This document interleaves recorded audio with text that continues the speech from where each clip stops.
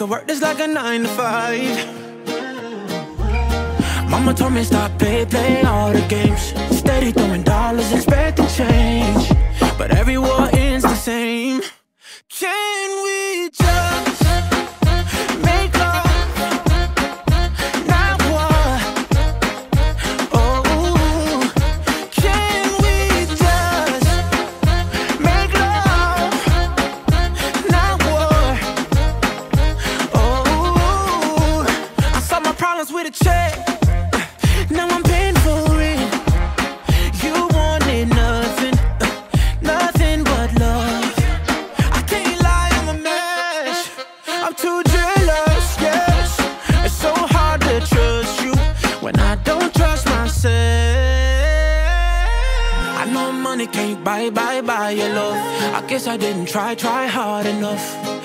could work this like a nine to five.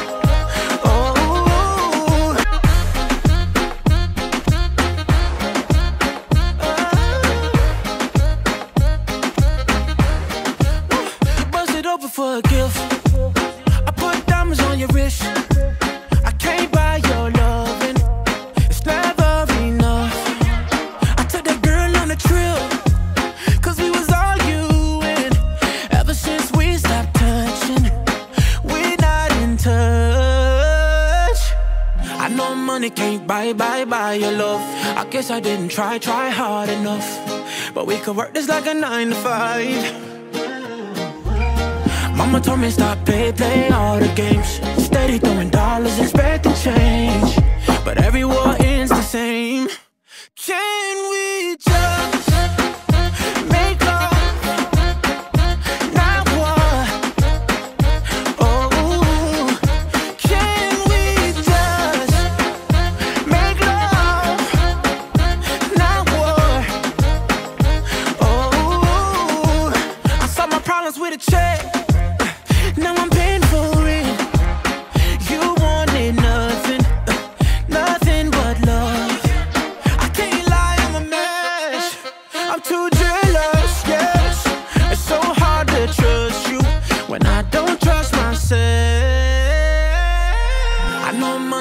Bye, bye, bye, your love.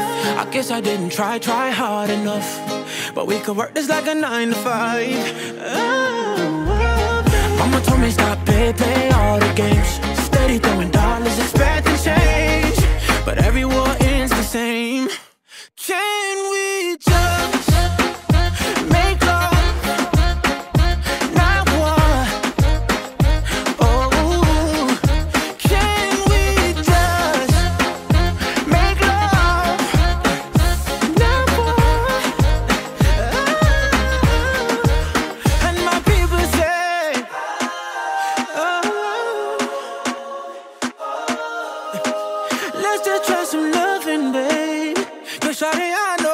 Welcome back. I just wanted to share some beauty finds that I have recently found at Ulta. It is Ulta's 21 Days of Beauty. So I just wanted to share not only stuff that I've found from there recently, but I wanted to share a product that I've been using, product I love, as well as product that I'm trying for the first time with you. So at the beginning of this video, I did my makeup and I actually really like the way it turns out. I have tried baking powder in the past on my face, but it always turned out really cakey and just, or too white like I look like a powdered donut. Like it just looks awful, doesn't match with my skin tone, doesn't look natural. So I just use this for the first time, the Anastasia baking powder.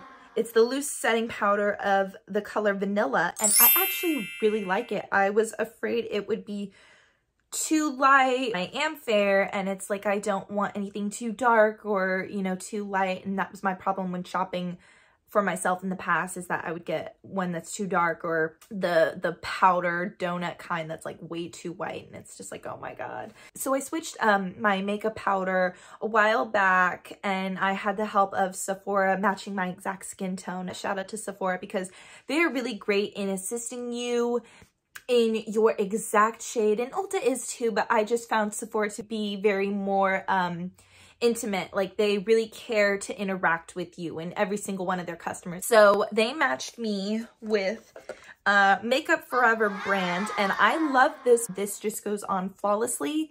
It's smaller packaging than what they had before. It doesn't look cakey. It looks just airbrushed. It looks so good. And like even right now, like I'm just like so amazed by how great my makeup looks. And I didn't even use this. This is just with the Anastasia powder, but I did use their cream. So I used the Makeup Forever. It's the Ultra HD Color 21 and I just used that cream for my under eyes because I was contouring it turned out really great and I really love it. So it's a huge difference from this other brand that I used before. The NARS Radiant Creamy Concealer in the shade Vanilla. So with this concealer, it's good, but the problem was the beginning of the video when I put it on and I started doing my other makeup, you know, my lips, my uh, contouring, my brows and everything, the difference between the Makeup Forever and the NARS brand is the Makeup Forever stayed creamy and it just blended really good when I blended it out with my sponge.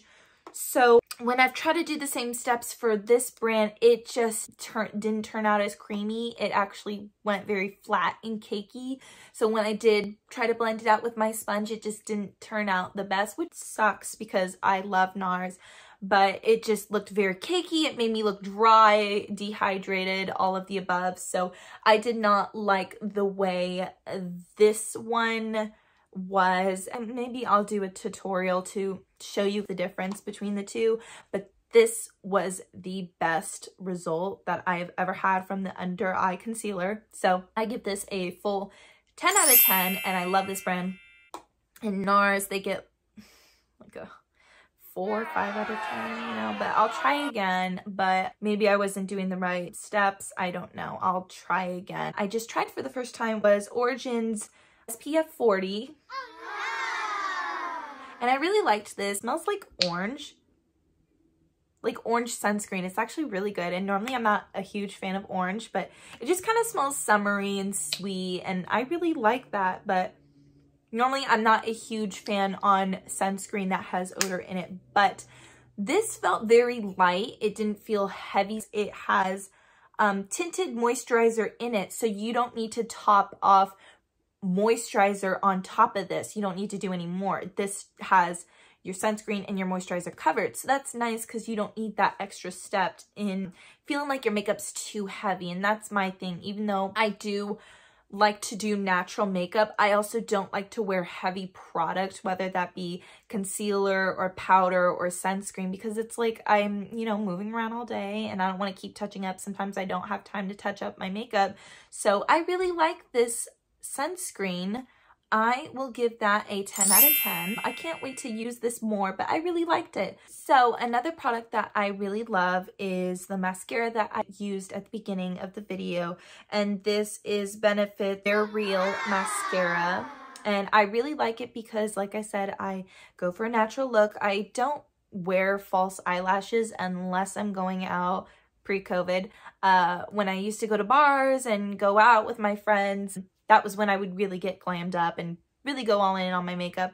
But for everyday look, I love this mascara. The bristle really gets each eyelash, which I love about it. I really like them and I'm going to give them like a 9 out of 10 because they are so great. For my eyeshadow, before I applied it on, I did use an Urban Decay primer for eyeshadow and I actually really liked this because you could see at the beginning of the video I did have a little like um darker pigmentation on my eyes. I really liked this primer because it just brightens my eyes up and when I put my eyeshadow on it just goes on nice and neat and doesn't look cakey or anything like that. It turned out really great. So I put a little bit underneath too and I don't know if that goes against, you know, makeup protocol or whatever, but my friends know all about that way more than I do. So I really like this brand. I'm giving them a 10 out of 10. So some other beauty products I got at Ulta was more skin products, not so much makeup because I have a sunscreen that I'm finishing out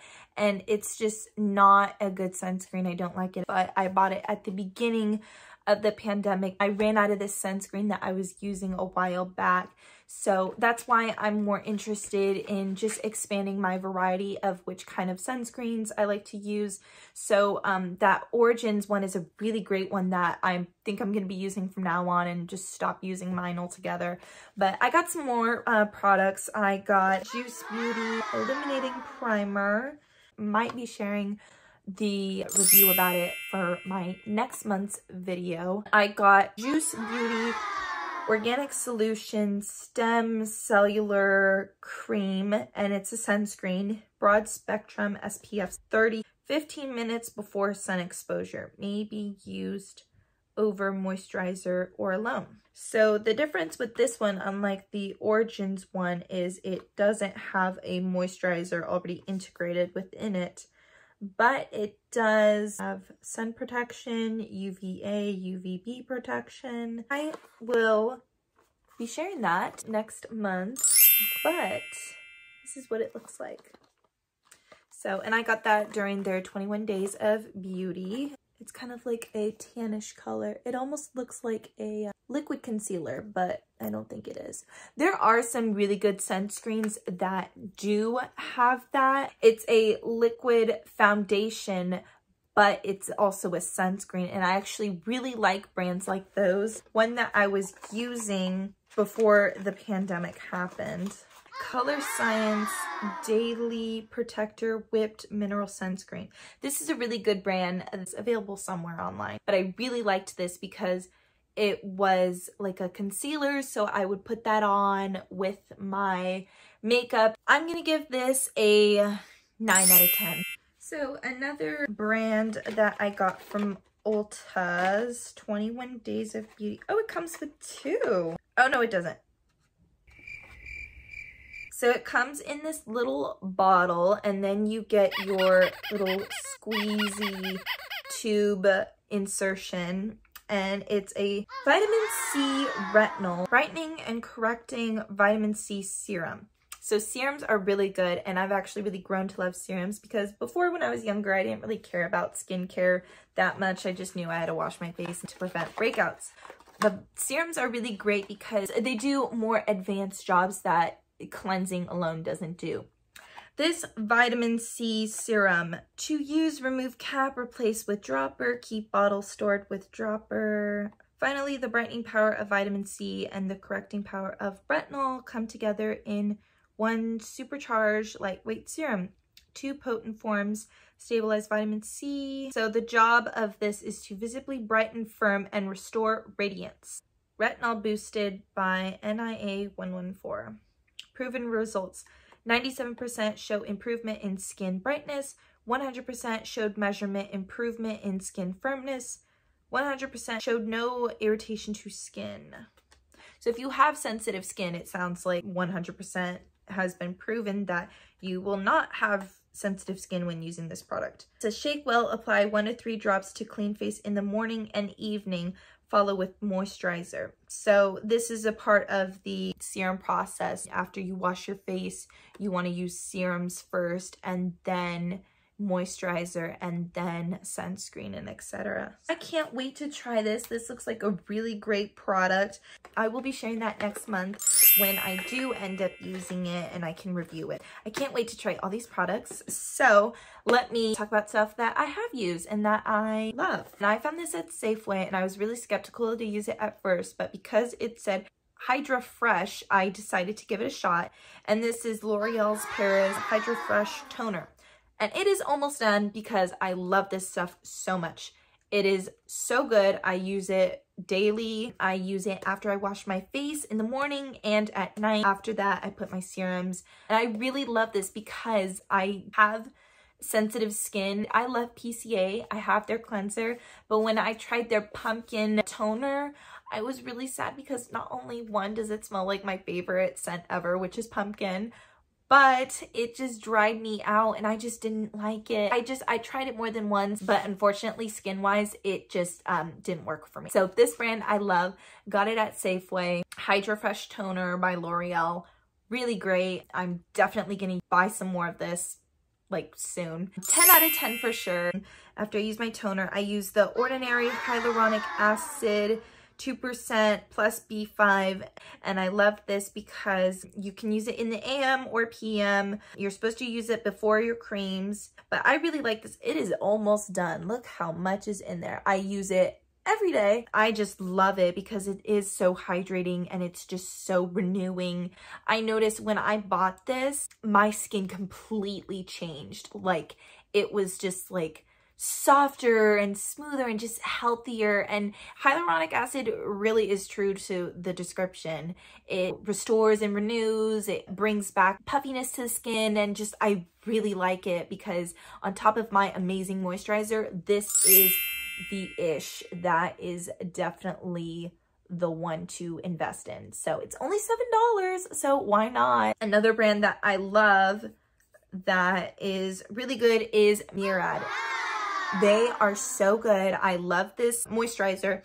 It's a Murad Hydration Nutrient Charged Water Gel. It's an intensely hydrating oil Free water gel helps plump, strengthen skin. Instant hydration up to five days. Use AM and PM. Massage gently, evenly over face, neck, and chest. I have tried other moisturizers in the past, but this is the one that ultimately does it for me, my skin that needs it. So I love this brand. I love this product. This is on the more pricey side. It is $62. I am almost done it is pretty much gone because I love it so much. And I don't even use that much. I use like a, a, small drop size, but I spread it around, spread it on my neck and everything, and it does the job, and I really love it. So 10 out of 10 for that brand. My facial cleanser is the best facial cleanser ever. PCA facial wash for oily problem when I read the description, it said for dry and oily skin, which is why I gave it a shot. So now that my skin is healthy and renewed and restored again, I don't really consider it dry, I just consider it oily now. So I love this. It is amazing. It's a great facial cleanser. It's not too heavy. It's nice and light. Only use a small size because when you rub it in and clean it all around, I clean my neck and everything. It's great. It's hydrating even after drying your face, but um, you still want to use serums after using it. Definitely love this. Actually, Walmart even sells it online on their website. I tried going in person, but wasn't able to find it. Walmart sells it for a really good price. Uh, go to Walmart online on their website, and if you're interested, definitely pick this up. In the past, I used to use St. Ives as an exfoliation cleanser. It's the apricot scrub and that's actually not good for your skin. It is so rough on this skin. It really isn't meant for your face because your face is such a thin layer, you don't want to use anything that's like too rough or harsh. I recommend only using the St. Ives because it was really hard to walk away from. I love that brand, but it's too rough on the skin. So I ended up using them as a body exfoliant. So when I was in the shower, I would just end up using that brand just to finish it off. This brand is the one that I also found was my saving grace, Murad Exfoliation. It's gentle, the beads are small, you don't want to use anything too big or harsh on your skin. This is nice and gentle and you feel the difference right after. It's hydrating. It's a AHA, BHA exfoliating cleanser and it's just nice and gentle and I love it. So I definitely recommend this. What I do if I'm spending the night at my boyfriend's or I've spent a couple nights at my boyfriend's house, sometimes I'll exfoliate. If I come back home, I didn't wash my face or anything like that, I'll use the Murad cleanser. And then a couple days later or even a week later, I'll use this because technically you're only supposed to exfoliate twice a week. The Ordinary Solution Peel. So you don't want to use this and this on the same day because they're both exfoliants. It's an AHA BHA peeling solution and you only leave it on for no more than 10 minutes. And um, it's actually pretty crazy because it almost looks like blood. Like it looks like a bloody facial, but it's not. And it smells actually really good. It almost smells like pomegranate or something. So this is what it looks like. Same thing like the other uh, hyaluronic acid I showed at the beginning of the video. And so um, I just put on my face and my neck. So it does kind of burn a little bit when you do first put it on. You just leave it on for no more than 10 minutes. And if your skin becomes too irritated, that burns too much, then just take it off and don't use it. Want to avoid sweating, exercising, any of that because your skin pores are more vulnerable and they're open after the peel. You just they they don't recommend it because your skin will become irritated and inflamed and it actually leaves the skin quite renewed and removes any dead skin cells. I really like it because it does remove all the dirt and the grime when you're out all day. Just be aware when using this. 10 out of 10. Lush's cookie dough flavor. It's like an exfoliation for your lips. It's edible. You can apply it in the shower, brushing your teeth. Um, you just put it on and then wipe it off or lick it off with your lips. But um, it's good and I really like it. 10 out of 10. I'm like almost done with it. I definitely recommend them, especially when you have in the wintertime dry lips and everything. I would use this so much. And then on top of this, I would use Nourishing lip mask. It's not necessarily a lip mask. It's more like chapstick from Bath & Body Works and it's coconut flavor and I always put this on before bed and I love it because it really hydrates even before I go to work because I'm wearing a mask. I don't normally wear lipstick. So I just put this on after I do my scrub and brush my teeth and then I put that on and start my day. I love this 10 out of 10. Some other brands that I really love are MAC. The color that I'm wearing is taupe matte lipstick and I'm using the spice liner with it. I don't really like to use a darker liner than my lip. I like to blend it together because sometimes I overline my lip and I like to make it look natural. This is a great combo together. 10 out of 10. Two other brands that I really love is the eyebrow gel that I use. And this just prevents my brows from brushing over. You want to apply it after penciled or dip brow them. It's Essence Lash and Brow Gel Mascara. First of all, it's $3 at Ulta. My friends recommended this to me, so shout out to Sworn and Lisa. But I like this just because it keeps them in place. It's affordable and like they're just so firm. They don't even move. I don't even really need this, but I just want to show you like it just like that, like little hairs at the end. All you do is just brush it out and it stays and it lasts like all day. So I really like this because I used to have that problem with my brows where they would just fall down a lot or they would just end up all over and my hard work of shaping my brows ended up coming off because I didn't have anything holding it down. So this is a great brand. Last but not least, my eyebrow pencil. My favorite one, I used to use Anastasia and I liked her brand. And I used to use her when I was a redhead and I love my red hair and I miss my red hair, but I wanted a natural shade to match my color, but I didn't want too dark brown because Anastasia, unfortunately, her tones were too dark brown and there was no like um naturally before I filled them in, they're almost like a like a ebony grayish color. They're not black, but they're not brown, but they're like a nice neutral color. Actually, what inspired me to go for a lighter color, not quite to my hair, is uh, when uh, Kim Kardashian dyed her hair like platinum blonde, like back in 2018 or 2017, something like that. She like debuted it in uh, New York Fashion Week. She had this beautiful, you know, white colored hair, but her brows were like so amazing. And like they weren't like black but they weren't brown. They were like a nice gray. And she did that because the coloring of the hair was showing her roots here.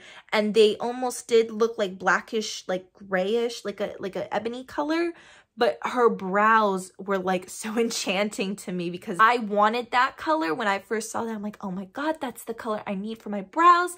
Now that I'm brunette again, I can't keep doing these dark browns because when I would just overdo it and when I try to make it look natural, it just, you could tell I was wearing eyebrow pencil. So I like this because it makes my brows look very natural. I have a very nice shape that I like to enhance with just the pencil. So I don't want to do any I don't want to do too much product. So this was great because all I do is just fill in just a little bit.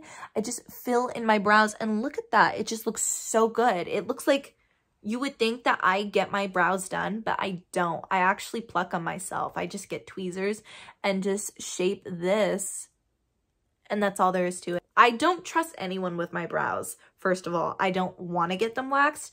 They're not hairy enough to where I need to get them waxed. I know what shape I want to do to them myself, so I won't let anybody near my brows. This is a great brand. I love the Benefit gray color and I like this because it's the pointed kind, the tip. It's not like the angled ones. I find when I buy those angled pen pencils, my brows turn out too blocky and they look awful and um, they just look too thick. And this I love because I can create that natural shape. I just fill it in a little bit, my brows, and it lasts. So that is my favorite pencil. That is it for me today. Thank you so much for joining me. I hope to see you in the next one and I will be posting very soon. Follow me on Instagram, TikTok, Pinterest. I have lots of ideas coming and I can't wait to share with you all. Thank you so much for watching and I'll see you soon. Bye.